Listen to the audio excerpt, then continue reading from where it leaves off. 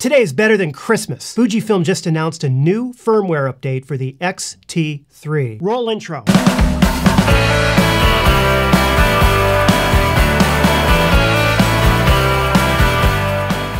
Today we're going to be talking about the Fujifilm X-T3 3.0 firmware update.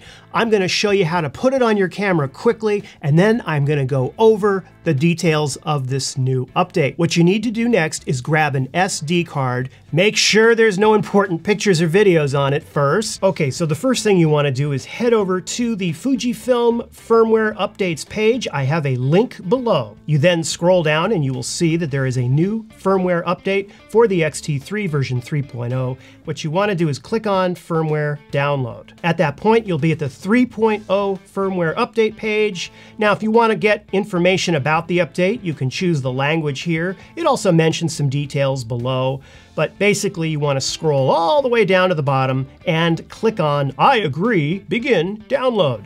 When you do, it doesn't start downloading right away. You actually have to go to here and click on begin download. Once the download is complete, you should see it wherever you saved it. On a Mac, it's defaulted right to the downloads folder, but it's basically a file that looks like this. The icon that you might see, the picture here, is probably going to be different based on whatever computer that you have. What you're looking for is something that says FW up 0019. That tells you that's the one you want. So the first thing you want to do is take the SD card that has your firmware update in it, put it in the camera, go ahead and hold down the DISP back button, hold it down at the same time while turning the camera on. You will see this message right here.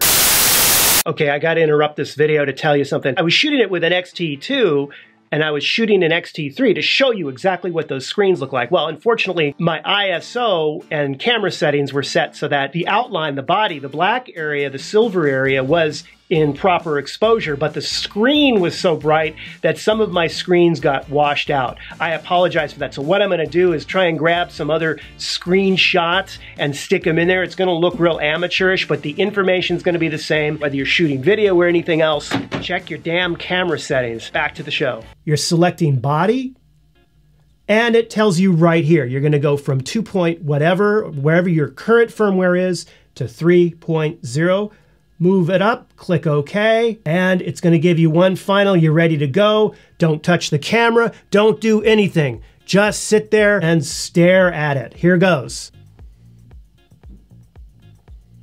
Still waiting, still waiting.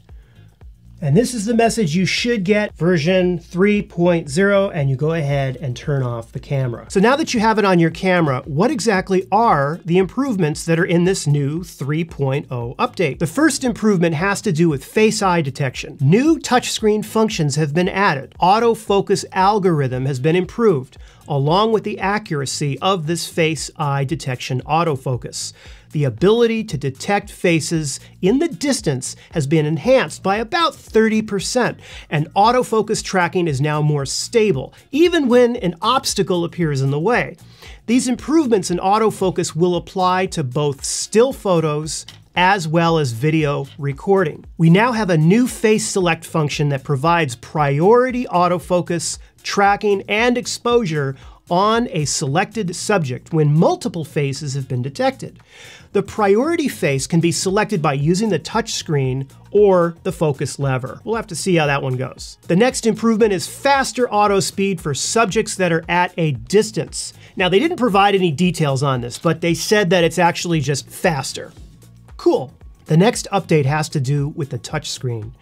A double tap setting and touch function has been added to the touchscreen settings. By the way, these two new settings are all set to off by default. Now, these new settings allow for a more intuitive touch operation when you're shooting, autofocus, and focus area select. So we'll have to play around with those and see how it is. The next change they made is to the eye detection setting.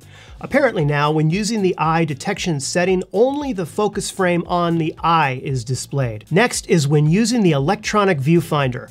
The tracking function for the autofocus and the auto exposure area movement by touchscreen is improved. Not sure how they improved it, but it's been improved. Good, awesome. I wish they'd get a little more detailed with this stuff, but That's what they're telling us. Next, the push function of the joystick is now disabled when you're using interval timer shooting. Not a bad thing, it prevents you from accidentally tripping it. They also made some changes to flicker reduction. So the options are changed from on slash off to all frames slash first frame slash off. And when choosing first frame, the speed of CH continuous shooting has been improved, according to Fujifilm. For the next part of the update, Fujifilm says, if there is no image of transfer order when turning on a camera, no message appears. Huh? I'm not sure what, what, that means. In fact, when I went to the details site on the Fujifilm thing, I found three misspelled words in details number eight and number nine on the webpage. Fuji, you might want to update that. And finally, according to Fujifilm, fix of slight updates right? You see that all the time in software updates, you know, bug fixes, bug fixes. They never tell you what they are. You have no idea what they are. But as someone that has written programming code, I can tell you that it's probably a lot of little things, and um, most of them you probably wouldn't notice, but it perhaps would speed it up and make it more stable.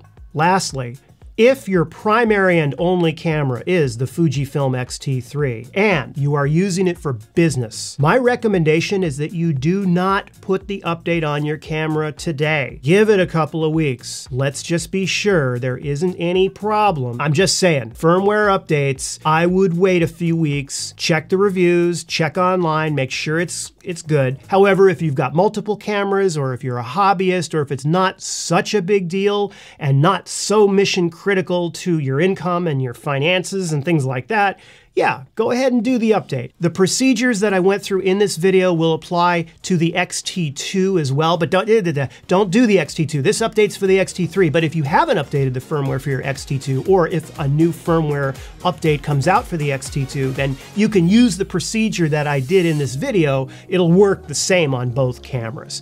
That's all. Thank you so much for your time. Thank you for subscribing if you are a subscriber. If you're not, and I guess I will see you in the next video. I'm gonna go check this update out. I can't wait. And yes, I'm working on this lens review.